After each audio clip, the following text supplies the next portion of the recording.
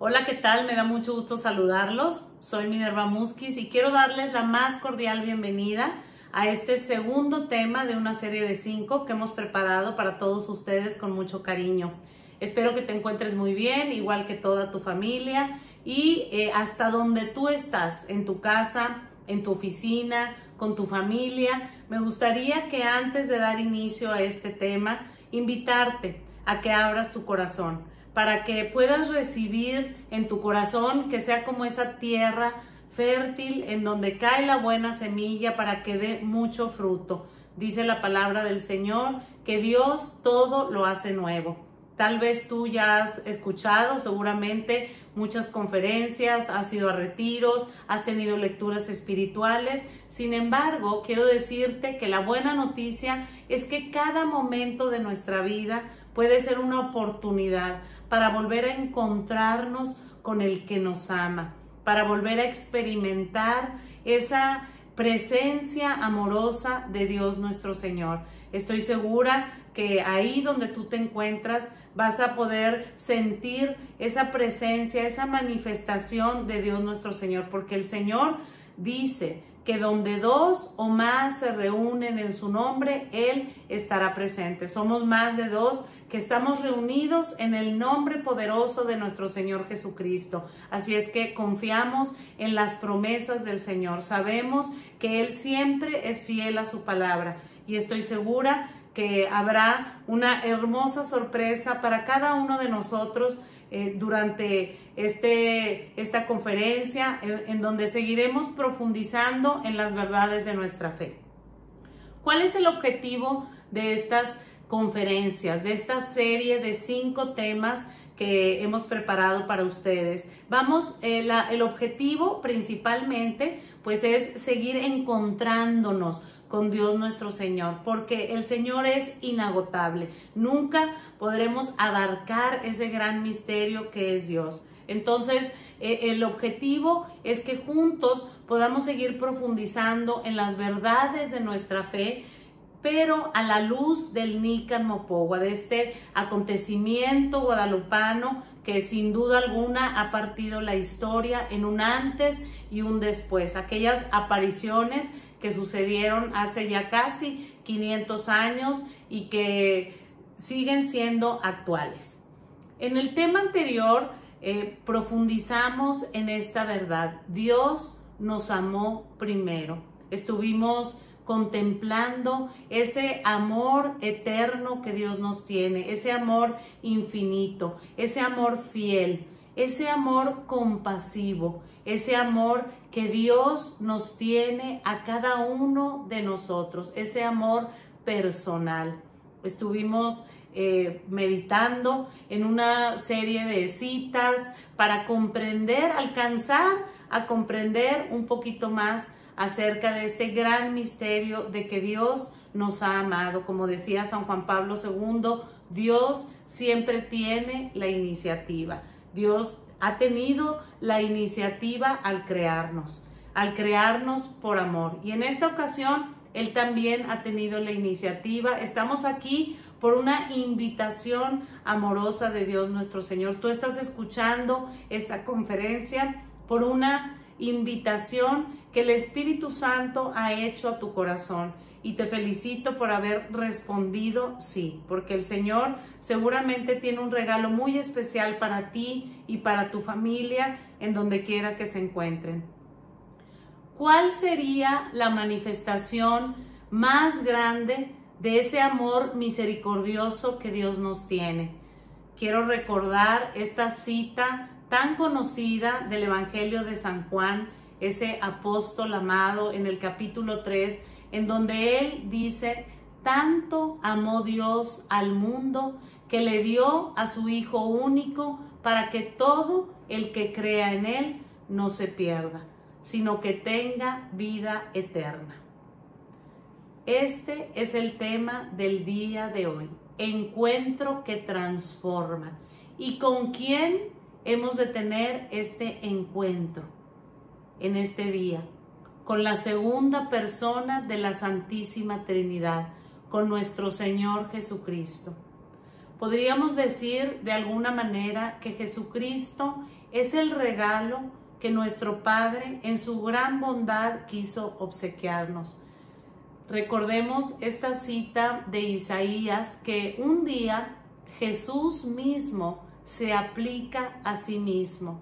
Y dice la cita, el Espíritu del Señor está sobre mí, porque me ha ungido, me ha enviado a dar buenas noticias a los pobres, libertad a los presos y vista a los ciegos, a liberar a todos los oprimidos y a proclamar que ha llegado el tiempo de la gracia de Dios.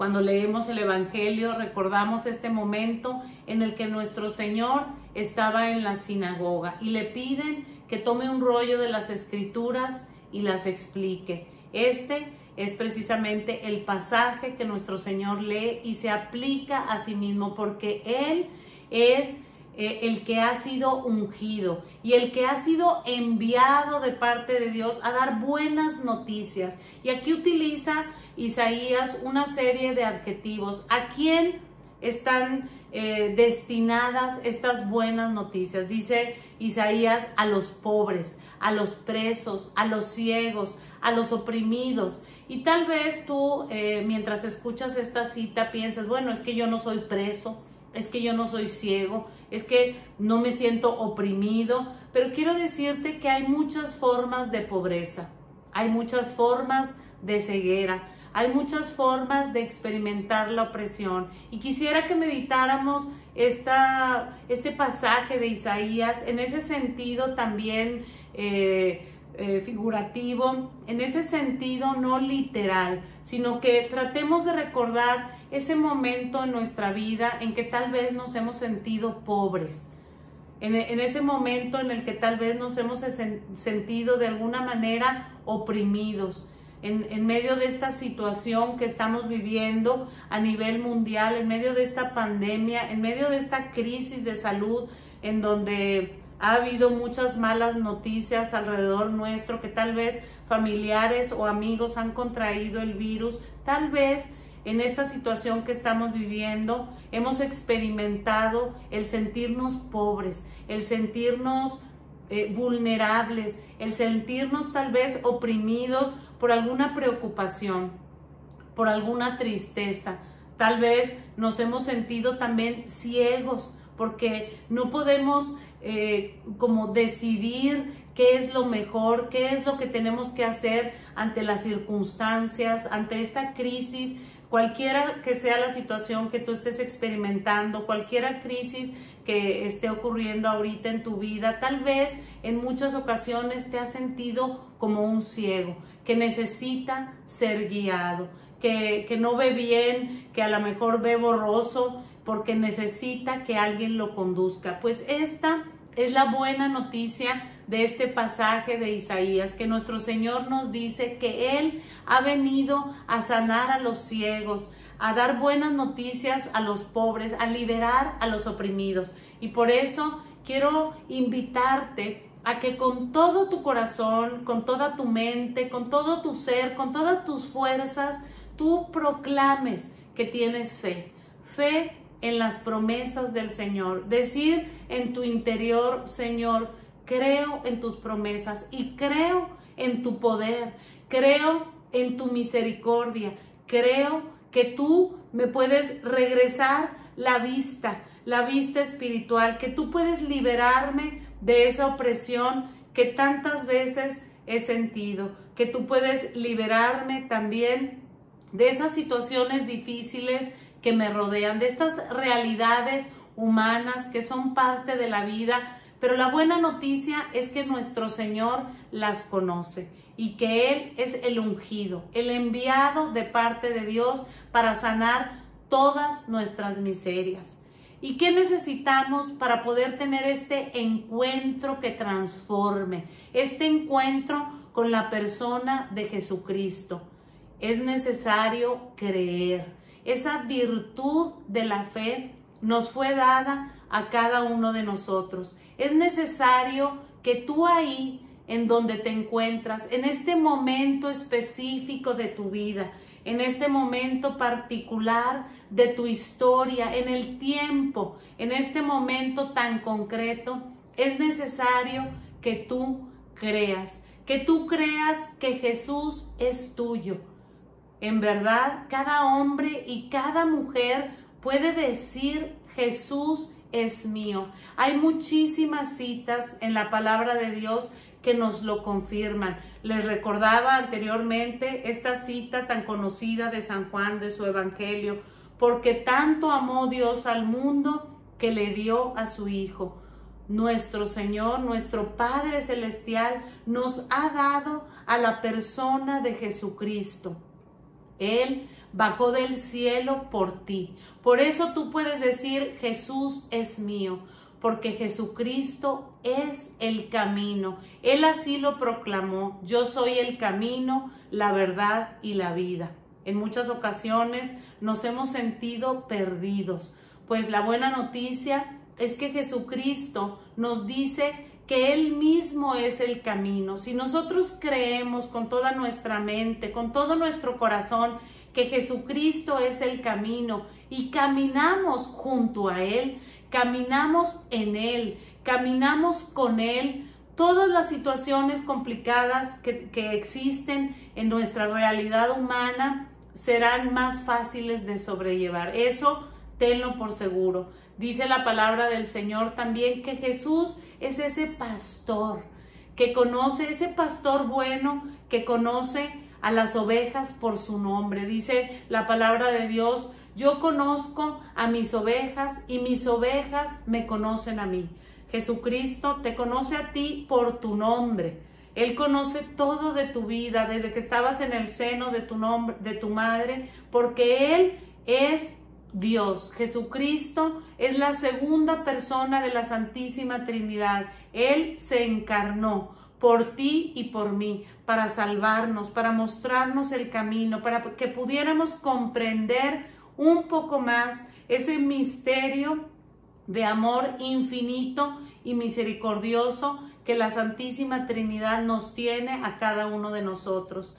Cada hombre, cada mujer puede decir verdaderamente Jesús es mío, porque Jesús vino a salvar a los pecadores. ¿Y quiénes son los pecadores? Todos nosotros. Todos porque Dios tiene un plan para cada uno. Tiene un plan perfecto, tiene un plan de amor, pero nosotros con esta concupiscencia que es parte de la naturaleza humana, en muchas ocasiones nos hemos apartado de ese amor que, que de ese plan que Dios tiene pensado para cada uno de nosotros. En tantas ocasiones hemos escogido lo que no nos conviene. Somos, por lo tanto, pecadores. Y Jesús vino especialmente por los pecadores, por los enfermos. Dice nuestro Señor también en su palabra que Él es la puerta para que podamos entrar al redil. Y me gusta muchísimo estas metáforas que nuestro Señor utiliza. Él dice, yo soy el camino, yo soy la puerta, yo soy el pastor. Esa puerta, ¿a dónde nos va a conducir? nos va a conducir a la experiencia del amor de Dios. Jesucristo es el tronco, es el tronco que me da su savia para que pueda dar fruto. No hay manera de que nosotros podamos producir un fruto bueno si no estamos unidos al tronco. Jesucristo también es el pan de eternidad. Es ese pan que, que nos fue dado en un acto de amor, en un acto de amor ardiente que tuvo nuestro Señor. En esa última cena, Él dijo, no saben cuánto ardía mi corazón para celebrar, por celebrar esta Pascua con ustedes. El corazón de Jesucristo ardía de amor. Y Él, en su infinita inteligencia y con su amor misericordioso, pensó en una forma de poder quedarse con nosotros hasta el fin de los tiempos, en ese milagro que es la Eucaristía y que nosotros sabemos y creemos que Jesucristo está verdaderamente presente en ese pan eucarístico, en esa hostia consagrada.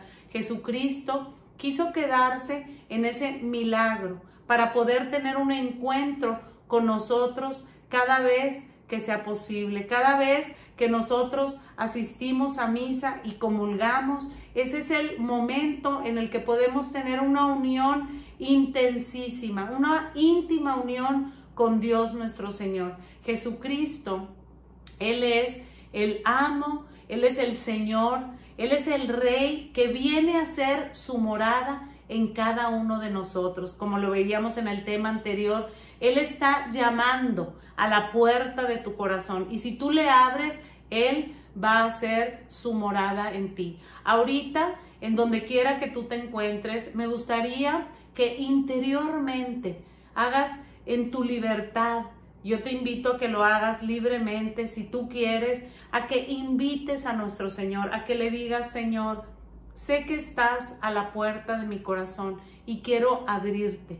Quiero invitarte a que tomes posesión de lo que te pertenece, a que tomes posesión de mi persona y de todo mi ser, a que tomes posesión de mi familia, de todo lo que soy y de lo que tengo, de todos esos dones espirituales que el Señor te ha dado, pues que Él los administre. Y también de esos dones materiales que Él te ha dado, también vamos a ponerlos a los pies del Maestro, a los pies del Rey Santísimo, nuestro Señor Jesucristo, para que Él haga con esos dones que nos fueron dados lo mejor, para que se usen de la mejor manera para la gloria de Dios y para bien de todas las personas que conocemos.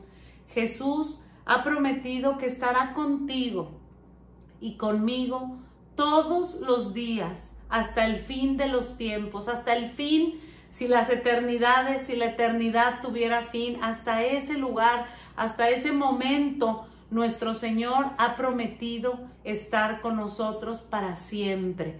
Tal vez para nosotros humanos es difícil comprender este concepto de eternidad, pero nuestro Señor lo ha dejado, lo ha dicho en su palabra, es una promesa, Él promete quedarse con cada uno de nosotros. Estas son algunas citas que recordamos para que, ¿para qué? Para que nosotros podamos realmente decir con todo nuestro corazón, Jesús es mío, Jesús es mi Señor, Jesús es mi Salvador.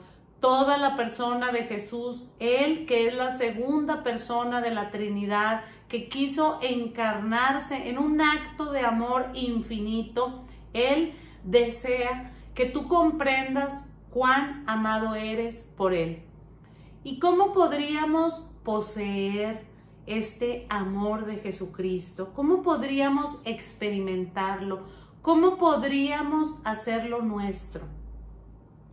Dice San Juan el apóstol también en su Evangelio, la vida eterna consiste en que te conozcan a ti, único Dios verdadero, y a Jesucristo a quien tú enviaste.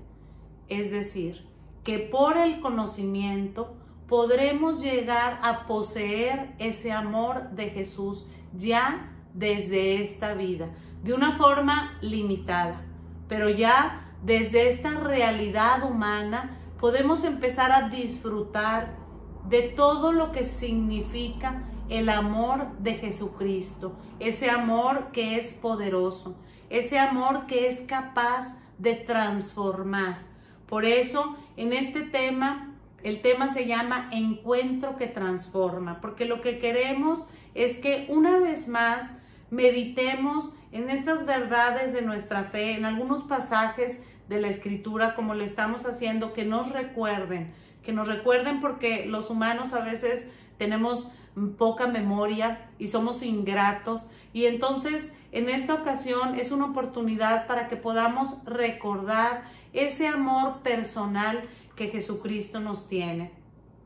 El acontecimiento guadalupano es un medio que nos puede servir para conocer más la persona de Jesucristo. Es un evento que, como te decía, ocurrió hace ya casi 500 años, en 1531, y sin embargo sigue siendo un acontecimiento actual. Profundizar en estas apariciones nos ayudará a conocer más a nuestro Señor Jesucristo a través de Santa María de Guadalupe.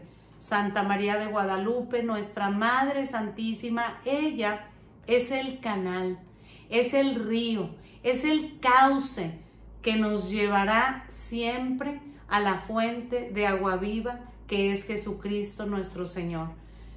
Aquí en el acontecimiento guadalupano, no sé si tú lo sabías, pero Santa María de Guadalupe viene a estas tierras de México y de aquí para todo el mundo. Y ella viene embarazada, viene trayendo en su seno purísimo a Jesucristo. Así es que podemos decir con toda verdad que en este acontecimiento guadalupano, el hombre ha tenido un encuentro con el amor de Jesucristo a través de la Santísima Virgen Santa María de Guadalupe. Y recordemos lo que han dicho muchos santos a lo largo de la historia. No debemos temer amar a la Virgen María, porque nosotros estamos llamados a amar a la Virgen como Jesucristo la ama. Entonces no nos va a alcanzar la vida para amarla con esa perfección, con ese amor infinito, con ese amor eterno que Jesús tiene por su Madre Santísima. Gracias a Dios que Jesucristo en ese momento en que estaba en la cruz, Él en ese momento quiso regalarnos lo más valioso que tenía, que es a su Madre Santísima. Y ella desde ese momento asume esa misión de ser la madre de todos los discípulos del Señor. Y ella es esa madre cercana, esa madre compasiva que quiere llevarnos siempre a su Hijo. Por eso nosotros no debemos de temer el amar a la Santísima Virgen María, porque ella siempre nos va a llevar a su Hijo Santísimo. Todas las mamás quieren lo mejor para sus hijos. La Virgen María desea que nosotros experimentemos ese amor del Señor, ese amor de nuestro Salvador, porque ella sabe que ese amor es poderoso, que ese amor es lo único que puede transformarnos, que puede salvarnos, que puede restaurar toda nuestra vida. Y quiero entonces ahora pasar, como en el tema anterior, y así lo estaremos haciendo en todos los temas, a meditar algunos versículos del Nican Mopowa que nos ayuden a profundizar más en este tema que es encuentro que transforma, encuentro con la persona de nuestro Señor Jesucristo. Te recuerdo que el Nican Mopowa es un documento histórico en donde se relatan las apariciones que sucedieron en 1531 del 9 al 12 de diciembre en allá en el Cerro del Tepeyac en la Ciudad de México. Un versículo que quiero hoy recordar contigo del Nican Mopowa. Acuérdense que Juan Diego eh, iba muy tempranito, un sábado 9 de diciembre, rumbo a Tlatelolco a tomar el catecismo. Y entonces para llegar a Tlatelolco tenía que pasar por el cerro del Tepeyac. Y eh, pues ahí, cuando va llegando al cerro, nos dice el Nican Mopowa que Juan Diego oyó cantar sobre el cerrito como el canto de muchos pájaros finos, al cesar sus voces como que les respondía, sobremanera suaves, deleitosos, sus cantos sobrepujaban al del Coyototl y del Sininscan. Se detuvo a ver Juan Diego y se dijo, por ventura soy digno, soy merecedor de lo que oigo, quizá no más estoy soñando. ¿Dónde estoy? ¿Dónde me veo? Quizá en la tierra que me contaron mis antepasados. Pues en esta cita tan poética, porque la lengua náhuatl es, un, es una lengua muy poética, Juan Diego trata de describir lo que él experimenta cuando va a manifestarse la Santísima Virgen de Guadalupe a su persona, ahí en la cima del cerro. Y entonces aquí eh, me gustaría que meditáramos este versículo a la luz del tema eh, que nos compete en esta ocasión, el encuentro que transforma. Y Juan Diego se hace muchas preguntas, él eh, todo esto lo asombra, es algo que, que, es extraordinario, que no es parte de su vida cotidiana, y él se pregunta a sí mismo, ¿soy digno de esto? ¿Soy merecedor?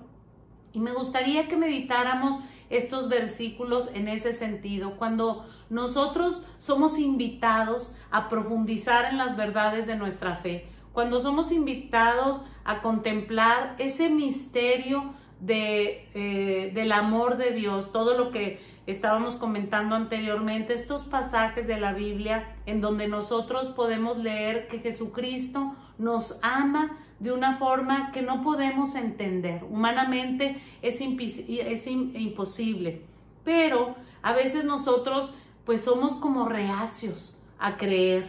A veces como que nos cuesta creer en ese amor personal. Muchas personas hoy en día creen que nuestro Dios es un Dios lejano, es un Dios a quien no le importamos, es un Dios que no se preocupa de lo que nos sucede y esa es una gran mentira.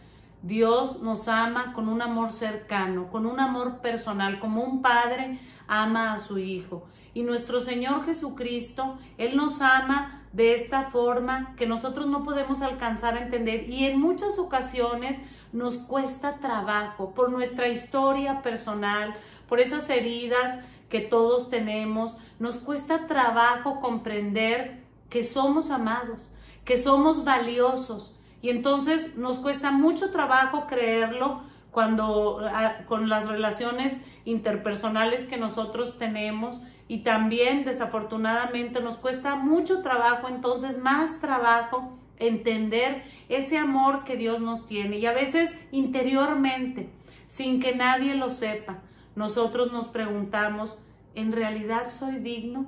Y muchas veces nos contestamos, no, yo no soy digno de este amor. Jesucristo vino a salvarnos, sí, pero no sé si Él realmente me ame porque yo no merezco ser amado, porque me veo lleno de miserias. Muchas veces este pensamiento viene a nuestro interior y así como Juan Diego pensamos, yo no soy digno de esto, no soy merecedor del amor de Dios, no soy merecedor de que Jesucristo haya derramado su sangre por mí, de que Jesucristo me ame como a una ovejita y esté dispuesto a dar la vida por mí para rescatarme y que de hecho dio su vida por ti en la cruz para rescatarte, para rescatarte de una vida de pecado, para rescatarte de una vida sin Él. Entonces, en muchas ocasiones nosotros tenemos estos pensamientos, no soy digno, yo no merezco este amor de Dios, es para los demás, porque los demás tal vez son buenos, yo no soy tan bueno. Pero la buena noticia que quiero decirte en esta ocasión es que tú eres muy valioso ante los ojos del Señor. Tú eres muy digno y tú mereces ese amor de Dios porque fuiste creado a su imagen y semejanza. Y Juan Diego pensaba, como nos dice aquí el Nican Mopogua, ¿acaso estoy soñando? Pues no, no estamos soñando. Jesucristo verdaderamente dio la vida por cada uno de nosotros. No fue un sueño, es una realidad. Y muchas veces nos cuesta comprender, como que eh, conocemos eh, de la historia de la salvación y de esta obra de la redención que nuestro Señor Jesucristo consumó y nos cuesta trabajo hacerla nuestra. Y pues uno de los retos en esta ocasión es que tú puedas hacer tuya esa salvación, que la tomes, que realmente podamos comprender que Jesucristo, cuando estaba ahí en el huerto de los olivos, cuando estaba cargando la cruz, cuando estaba ahí en ese madero crucificado, ahí no estaba pensando en el hombre como una multitud. Él estaba amando a cada uno de los hombres que han existido y que existen y que van a existir hasta el fin de los tiempos. La salvación es personal. Jesucristo murió por ti y por mí. Ojalá que pues que el meditar en estos versículos del Nican Mopogua nos ayude a todos a descubrir, a ser más conscientes de ese amor que nuestro Señor Jesucristo nos tiene. Y dice el Nican Mopogua que Juan Diego estaba experimentando todo esto y cuando cesó de pronto el canto, cuando dejó de oírse, entonces oyó que lo llamaban y le decían, Juan Sin, Juan Diego Sin. Y me gustaría ahora, eh, en esto del silencio que lo comentamos en la vez anterior, ese silencio que hubo y entonces después del silencio Juan Diego pudo escuchar cómo le llamaban de la cima del cerro. ¿Quién le llamaba? La Virgen de Guadalupe que estaba ahí en la cima del cerro del Tepeyac. Pero en este silencio, el silencio siempre es necesario para el encuentro con Dios. Y vivimos en un mundo en donde desafortunadamente hay mucho ruido, mucho ruido exterior y también mucho ruido interior. Y este silencio es importante. Y esta oportunidad que nos estamos dando en esta charla es una oportunidad de hacer un silencio. Es un momento en que dejamos eh, pues algunas cosas de nuestra vida para hacer un alto, para reflexionar en las verdades de nuestra fe. Pero lo que te quiero decir es que la experiencia de Dios es intransferible. La experiencia de Dios es incomunicable. Si tú no te lanzas, no te lanzas con, con, todo lo que eres, con toda tu fuerza, con todo tu ser, con toda tu mente, con tu voluntad, si tú no te lanzas y te sumerges en, digamos, ese amor, ese mar de amor misericordioso, si tú no te sumerges en Dios, aunque tú escuches muchas pláticas, asistas a muchos retiros, tengas muchas lecturas espirituales, si tú no te lanzas a sumergirte en el misterio de Dios, no podrás tener ese encuentro que transforma, porque esa experiencia es personal, no se puede transferir y tú no puedes escuchar un tema o leer un libro y comprender lo que otro está expresando de su encuentro personal. Por eso, algunos místicos como Santa Teresa de Ávila, como San Juan de la Cruz, para tratar de explicar lo que ellos experimentaron, lo escriben en estos bellísimos poemas. Pero nosotros tenemos que ser conscientes de que esa experiencia es personal. Y yo quisiera invitarte a que en medio de este mundo, en medio de esta actividad, en medio, pues en este siglo XXI que nos ha tocado vivir, quiero invitarte a que tú te des ese tiempo, que tú te lances en ese clavado eh, para tener esta experiencia del amor de Dios que va a transformar tu vida. No tengas ninguna duda. Miles y miles y millones de personas lo han experimentado y han dado testimonio, los doctores de la iglesia, los santos, tantas personas que nos han precedido y que han dejado sus escritos. Con, esos escritos nosotros podemos formarnos una idea de, de que vale la pena de que vale la pena sumergirnos en el misterio de Dios. Y cualquier oportunidad es buena y Dios es poderoso. Y en cualquier momento en tu casa que puedas tú estar a solas, porque decía Santa Teresa, ¿qué es orar? Es tratar en amistad a solas con el que sé que me ama. De eso se trata el encuentro, de pasar tiempo con Jesucristo pero esa experiencia tiene que ser personal. Estos versículos del Nican Mopowa en donde Juan Diego trata de explicarnos lo que él experimentó, sin embargo, no lo podemos entender hasta haberlo experimentado, porque nosotros no queremos ser nada más unas personas que hablan del Señor, queremos ser personas que han tenido un encuentro profundo con el Señor. Y la maravilla de este caminar es que en cualquier momento nosotros podemos tener esa experiencia porque el Señor está siempre listo en este momento. Él está ahí contigo. Él está observándote, Él está amándote, Él está listo para derramar todos sus dones en tu vida, en este momento particular, en esta situación de alegría o de tristeza, de preocupación o de gozo. Él está ahí esperando que en tu libertad le digas, sí, Señor, yo quiero. Yo quiero tener una experiencia de ti. Quiero tener una experiencia de tu amor. Quiero lanzarme hacia ti. Y el Señor, como el enamorado que es, Él se lanzará hacia ti. Y entonces tú y Él, Él y tú se encontrarán en esta experiencia de amor que va a transformar tu vida.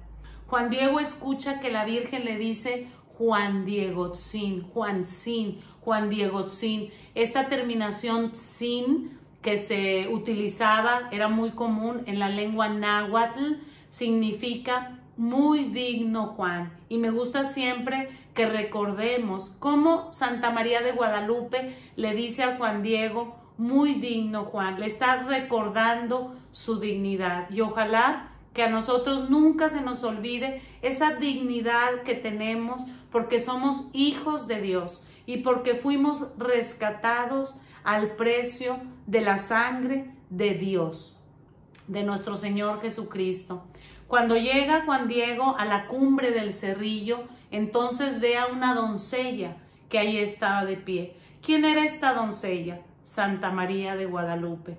¿Quién es Santa María de Guadalupe? Es la Virgen María, la misma Virgen María de Nazaret, la esposa de José, la madre de nuestro Señor Jesucristo. Ella fue escogida para esta misión especialísima de ser la madre del Señor. Y ella estaba ahí en el cerrillo de pie, esperando a Juan Diego. Ella lo llama y Juan Diego sube a la cima y ahí se encuentra con ella. Así, Santa María de Guadalupe, en todo momento, nuestra Madre Santísima, ella, la de mirada compasiva, la de corazón misericordioso, ella, que es la criatura que más se asemeja a Dios. Ella es esa criatura que fue creada para esta misión especialísima y ella, que es nuestra madre y que es la madre del Señor, siempre nos invita.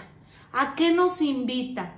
A que estemos juntito de ella, porque así le dice a Juan Diego, ven juntito de mí y hoy, ahí en donde tú te encuentras y que me estás escuchando, quiero que abras tu corazón y que escuches estas palabras que Santa María de Guadalupe te dice.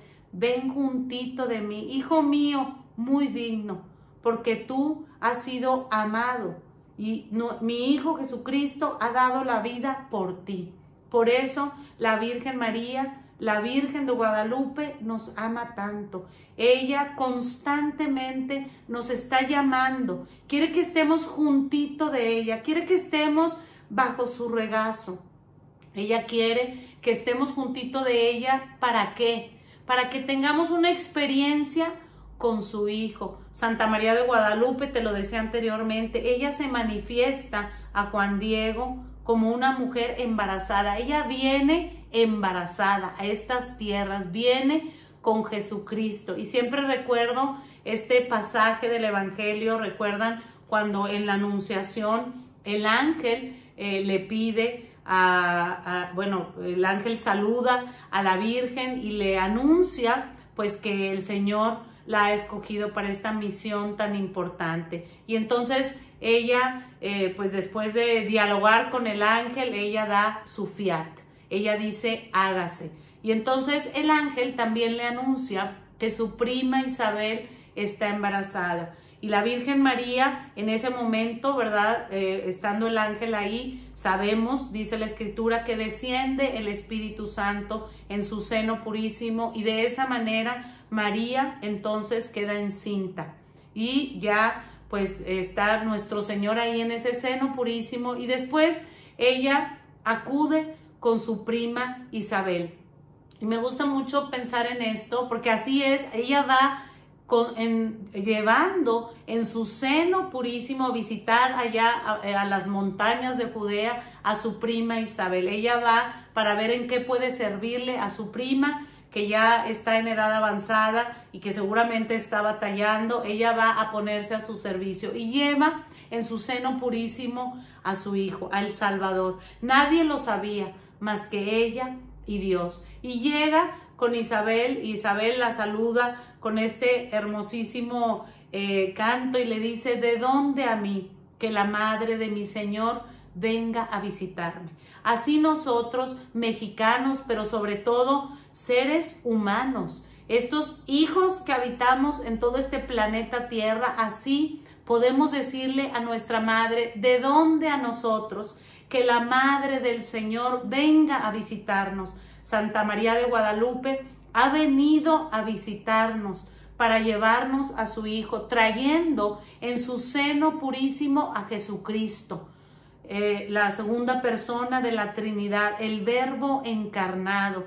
Y ella seguramente se alegró muchísimo, la Virgen María, de llevar en su seno a su Hijo Santísimo y, y, nuestro Señor desde el seno de la Virgen derramaba bendiciones. Por eso, por eso Isabel dice, apenas llegó tu saludo a mis oídos y sentí a mi Hijo saltar de alegría en mi seno. Nuestro Señor siempre derrama sus bendiciones y así Él que vino en el seno purísimo de la Virgen a estas tierras mexicanas, así Él derramó en ese momento, en ese año 1531, abundantes gracias y bendiciones para nuestros ancestros aztecas. Pero Él sigue derramando bendiciones porque los misterios de Dios son inagotables. Y así Santa María de Guadalupe, como le dice a Juan Diego, ven juntito de mí, así nos dice a nosotros. Y quisiera que pongas esto en tu corazón y que escuches cómo nuestra Madre te dice,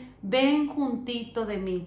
Santa María de Guadalupe, la Madre del Señor, ella es la más poderosa intercesora que nosotros tenemos. El objetivo de esta charla es que podamos tener un encuentro que transforma.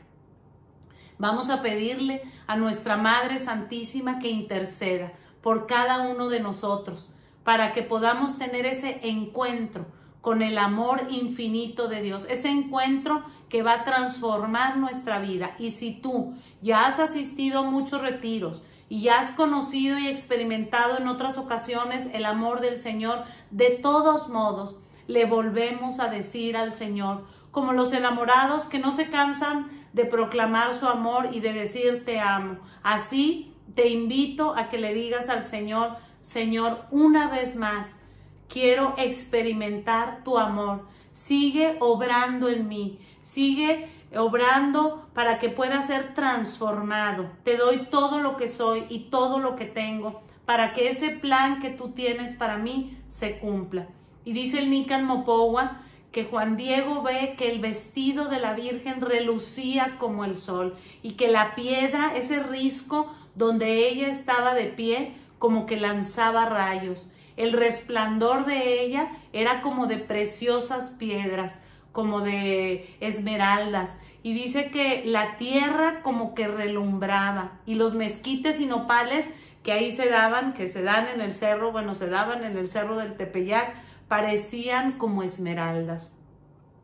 Y me gusta mucho eh, pues esta narración eh, que hace Juan Diego y tan poética y me gustaría que la hagamos nuestra hoy, en este año 2020, para todos los hombres y mujeres de este siglo XXI, porque la experiencia de Dios es una experiencia que nos va a llevar a que experimentemos en nuestra alma y en nuestro interior esta, eh, este estallamiento como de piedras preciosas. Así como todo relucía y como parecía que, que lanzaba rayos, así un poco, un poco así es la experiencia cuando nosotros conocemos el amor de Dios. Vamos a sentir una alegría que, que es como si nuestro pecho quisiera estallar de gozo. Y así eh, podemos experimentar así como que salen rayos del corazón de alegría y de felicidad y de plenitud y de bienestar, porque eso es lo que obra Dios en las almas. Eso es lo que hace el Señor cuando tú le das permiso de entrar en tu vida. Y te invito a que le des ese permiso de entrar en tu vida. Y si ya lo hiciste antes, hoy otra vez es un buen momento para que le digas, Señor, ven a tomar posesión de lo que te pertenece, mi vida entera. Y luego dice el Nican Mopowa que Juan Diego cuando escucha que la Virgen le dice con ese cariño, con esa delicadeza, con ese amor, porque así nos llama nuestra madre siempre. Y entonces él escucha y se siente muy contento y nada lo asusta, sino al contrario, se siente atraído porque se siente amado. Y dice el Nícal Mopogua que Juan Diego en su presencia se postró, escuchó su aliento, su palabra, que era extremadamente glorificadora, sumamente afable, como de quien lo atraía y le estimaba mucho.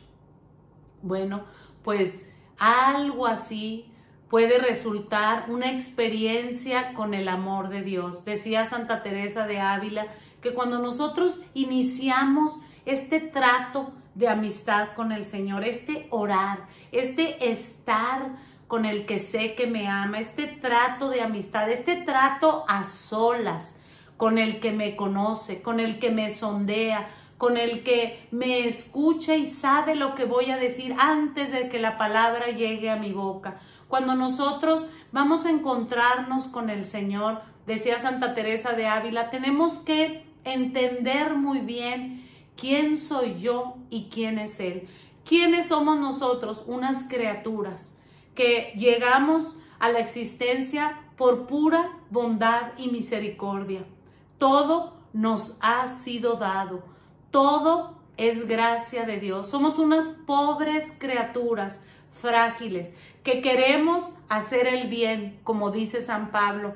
Conozco el bien y lo quiero hacer, pero termino haciendo el mal, porque así somos los hombres. Es esa fragilidad humana que está dentro de nosotros mismos. Y nuestro Señor quiere restaurarnos. Quiere, Él es ese alfarero que quiere hacer un bellísimo recipiente de nosotros pero depende de nuestra libertad. Y decía Santa Teresa, entender muy bien quién soy yo y quién es Él. Por eso Juan Diego dice, en su presencia se postró, porque nuestro Señor siempre derrama las gracias que son necesarias para el encuentro. El Señor no está jugando a las escondidas. Si tú lo llamas, Él viene presuroso.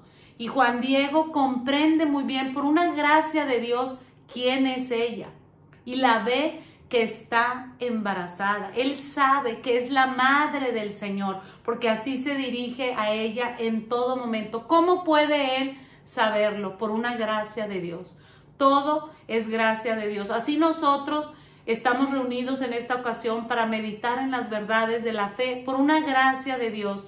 ¿Qué puso en tu corazón este deseo de estar aquí, de decir sí a esta invitación, el Espíritu Santo. Él es el que con sus dones nos hace decir sí. Entender muy bien quién soy yo y quién es Dios. Y por eso, cuando nosotros vamos a tener este encuentro que transforma, tenemos que hacerlo en humildad. Es decir, decía Santa Teresa de Ávila, ¿qué es la humildad? Conocer la verdad de lo que soy. Y yo soy una pobre criatura y Dios es todo. Entonces Juan Diego se postró. Así nosotros estamos llamados a postrarnos físicamente cuando sea posible, pero más importante interiormente, con todo nuestro ser y nuestras facultades y todo lo que, todo lo que somos, postrarnos ante el misterio de Dios. Y entonces así, reconociendo que somos nada, el Señor será atraído a nosotros porque Él ama al que se humilla, al que reconoce lo que es. Y dice el Nican Mopowa que Santa María de Guadalupe, después de, de, decir quién era ella, y no vamos a entrar en esos detalles, le revela a Juan Diego el deseo de su corazón. Ella le dice, mucho quiero, mucho deseo que se me levante aquí, en el llano del cerro, mi casita sagrada.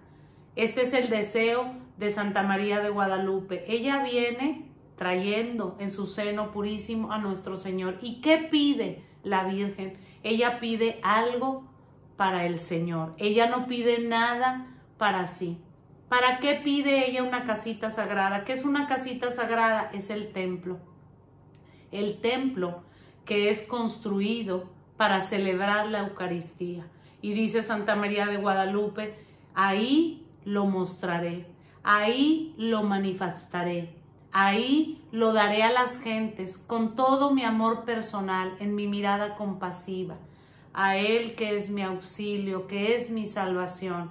Estas palabras nos recuerdan precisamente a ese canto del Magnificat que ella proclama cuando visita a su prima Isabel. Es la misma Virgen María de Nazaret. Ella nos abre su corazón también en el cerro del Tepeyac y dice, quiero una casita sagrada para que para manifestarnos a su Hijo Jesucristo, para entregarnos a su Hijo, ¿a quién? A todos, a todas las gentes. Por eso nosotros estamos llamados a recibir ese regalo que Santa María de Guadalupe quiere darnos. Por eso nosotros con toda confianza podemos invocarla para tener ese encuentro que transforma. Podemos recordarle su promesa, Madre nuestra. Tú lo dijiste a Juan Diego y en Juan Diego a todos tus hijos, a todos los discípulos de Cristo.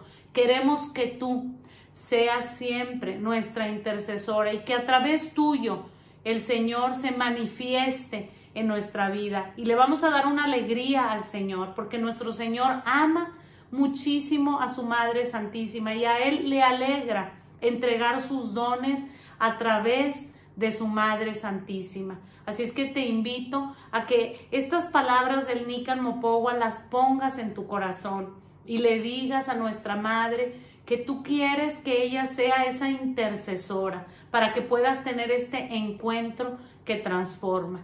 Y dice Santa María de Guadalupe en el Nican Mopogua, porque yo en verdad soy vuestra madre compasiva, tuya y de todos los hombres que en esta tierra estáis en uno, y de las más variadas estirpes de hombres mis amadores.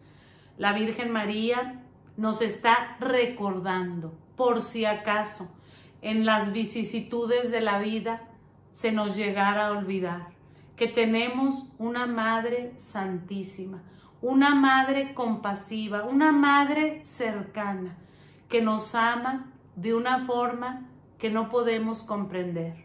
Si pudiéramos entender la forma en la que ella nos ama, estaríamos derramando lágrimas de felicidad. Santa María de Guadalupe viene a recordarte, yo en verdad soy tu madre, tuya y de todos los hombres de las más variadas estirpes y dice Santa María de Guadalupe, soy madre de todos. Y dice, y de los que a mí clamen, los que a mí me busquen, los que confíen en mí, porque ahí, en esa casita sagrada, escucharé su llanto, su tristeza, para remediar, para curar todas sus diferentes penas y miserias, sus dolores. Santa María de Guadalupe nos dice, yo soy madre de todos, pero y nos dice los que a mí clamen, los que me busquen, los que confíen en mí, los que me invoquen. Y te pregunto, ¿y tú confías en Santa María de Guadalupe? ¿Tú la invocas? ¿Tú clamas a ella cuando viene un problema a tu vida? ¿O le cuentas nada más a tu familia, a tus comadres, a tus amigos, a tus compadres? En tantas ocasiones nos olvidamos de que ella está ahí cerca de nosotros para escucharnos. Y ella promete que en esa casita sagrada ella va a estar ahí para qué? Para escuchar nuestro llanto, nuestras tristezas, para remediar, para curar nuestras dificultades y miserias. Esa casita sagrada que ella pidió es la Basílica de Guadalupe en la Ciudad de México. Ahí se construyó hace casi 500 años la primera ermita Ahora ya tenemos toda esta insigne basílica de Nuestra Señora de Guadalupe ahí en la Ciudad de México, donde era el Cerro del Tepeyac. Ya no se le llama así, bueno, pero ahí está esa casita sagrada. Pero ¿cuál es la buena noticia que quiero darte? Estamos viviendo tiempos complicados en los que tal vez no podamos asistir a la Eucaristía ya al templo y pues para muy pocos podrán asistir ahí a la Basílica de Guadalupe, pero te quiero invitar a que en tu corazón tú hagas esa casita sagrada, esa casita sagrada, ese lugar especial, ese lugar que reserves exclusivamente para el encuentro con el Señor y que invites a la Santísima Virgen, Santa María de Guadalupe, para que ella esté en esa casita sagrada intercediendo, para que puedas tener ese encuentro con su Hijo Jesucristo, ese encuentro que transforma. Pues bien, hemos llegado ya al final de nuestro tema, solo hemos visto algunos versículos que nos han ayudado a comprender un poco más ese amor de nuestro Señor Jesucristo. Ojalá pues que te des algún tiempo, algún momento en este día o en esta semana de tener ese encuentro a solas, de tener ese trato de amistad con el que te ama, como nadie te ama. Y el amor del Señor es un amor que llena, que satisface por completo. No hay nada en este mundo que nos pueda dar esa felicidad y esa plenitud como lo es el amor del Señor. Y quiero terminar con una cita de ese bellísimo libro Cantar de los Cantares. Y dice esta cita, Tu amor me embriaga más que un vino.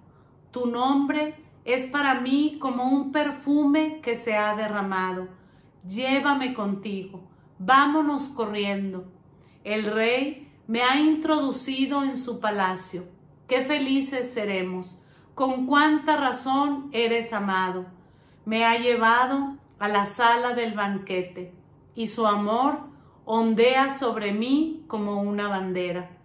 Mi amado es mío y yo soy de él. Ni los ríos apagarán el incendio de nuestro amor, ni los mares podrían sofocarlo. En comparación de su amor, nada son todas las riquezas. Y con esta bellísima cita te dejo para que cuando te des tiempo de encontrarte con el que te ama, recuerdes que no hay nada en este mundo, ninguna riqueza que se pueda comparar con la experiencia del amor de Jesucristo. Te agradezco mucho tu atención. Ha sido una verdadera alegría compartir con todos ustedes. Que Dios los bendiga. Espero que se encuentren muy bien y los espero en el próximo tema, el tema 3 de 5, en donde seguiremos profundizando en el amor de Dios, en las verdades de nuestra fe a la luz del acontecimiento guadalupano. Hasta la próxima.